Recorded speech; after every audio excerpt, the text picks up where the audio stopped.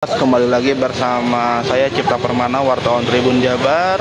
Kali ini seperti biasa eh, melaporkan langsung dari Stadion Sidolik Jalan ah Ahmad Yani Kota Bandung di mana Stadion Sidolik ini menjadi tempat prasarana lokasi latihan dari tim kebanggaan Persib Bandung yang baru memulai persiapannya pada hari ini jelang kompetisi BRI Liga 1 musim 2023-2024.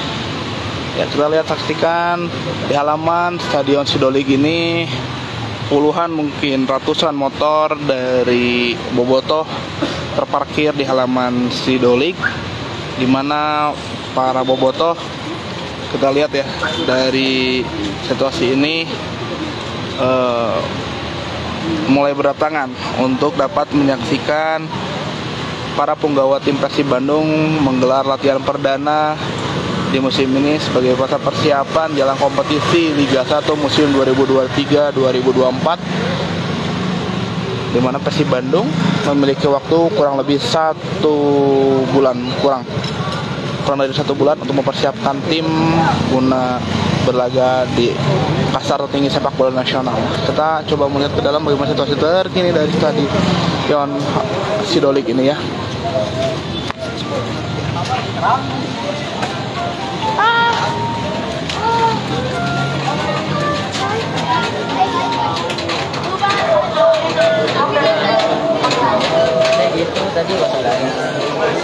Ya, ini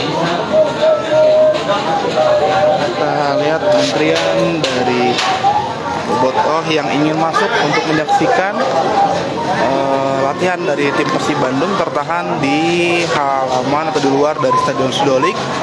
Masih menunggu pintu akses masuk dibuka.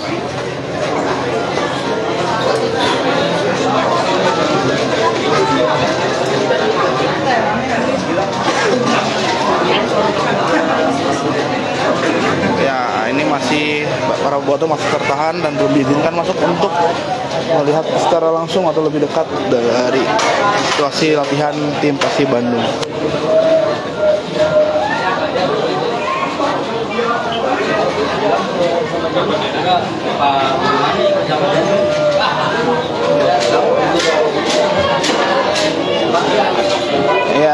Terpantau saat ini masih Bobotoh sudah banyak menanti di luar Stadion Sidolik. Namun dari petugas juga belum uh, bisa membuka pintu karena belum mendapat izin dari pihak pengelola untuk dapat membuka pintu tersebut. Kita masih tunggu sampai kapan para bobotoh ini bertahan ya.